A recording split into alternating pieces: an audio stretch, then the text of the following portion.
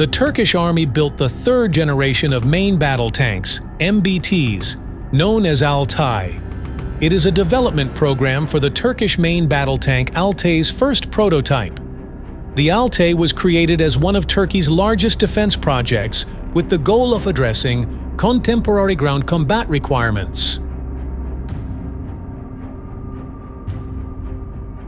In 2011, the first prototype was tested and released to the public. To tackle the demands of the modern battlefield, the tank is outfitted with cutting-edge technologies and sophisticated systems.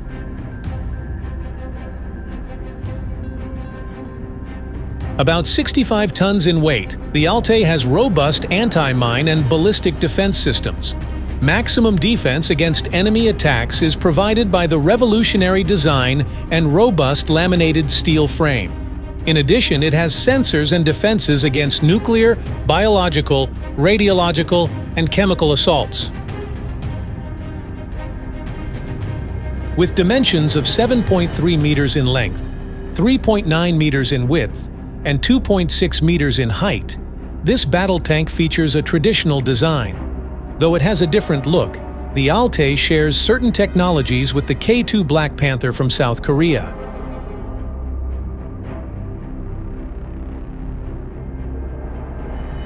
The primary weapon of the Altay is a smoothbore cannon with a 120mm barrel and a 55 caliber that can fire a variety of projectiles.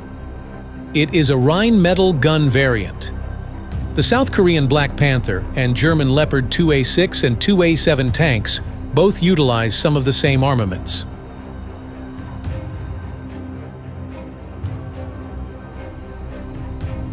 The Altay has a very high first-round hit probability when shooting at moving targets.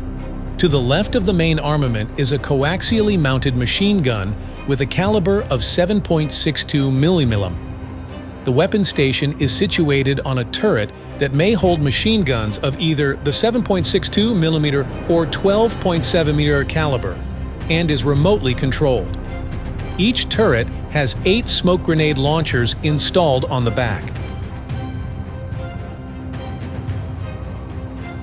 The Altay MBT is equipped with a sophisticated Aselsan-developed battlefield management system and Volkan fire control system, the Turkish Army's Leopard 1 MBT receives its fire control equipment from the business. The Altay is a cutting-edge tank built in the present era. It has excellent defensive qualities, great mobility, and faster assault and firepower.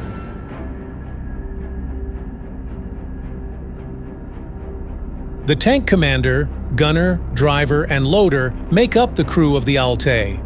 The driver's hatch cover is a single piece that opens to the right, and it is located in the front center of the hull inside the tank.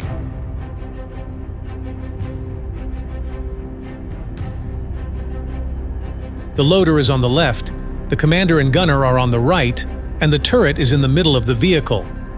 At the back of the hull is where the power pack is located. Modular composite armor is fitted on the Altay tank to shield it from many types of attacks. An advanced 1,500 horsepower engine from MTU Friedrichshafen GmbH and Renk Germany powers the propulsion of the Altay MBT. Seven double rubber tire wheels with a sprocket on each side and a sprocket acting as a drive at the back make up the suspension.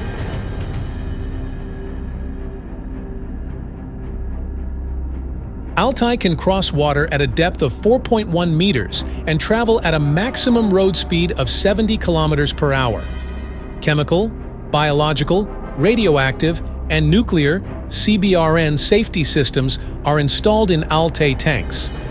A C3I, command, control, communications, and intelligence. System apparatus is also included. In the back is a 360-degree situational awareness system, a fire extinguishing system, an explosion suppression system, and a combat target identification system.